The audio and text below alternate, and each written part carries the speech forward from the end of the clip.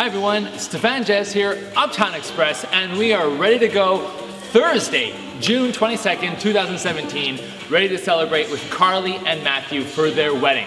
We're in Dollard at the Congregation Or Shalom.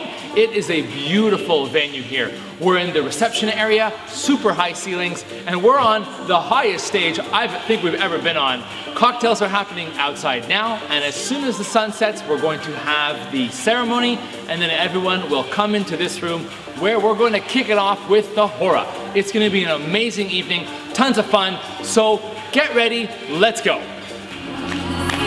Miss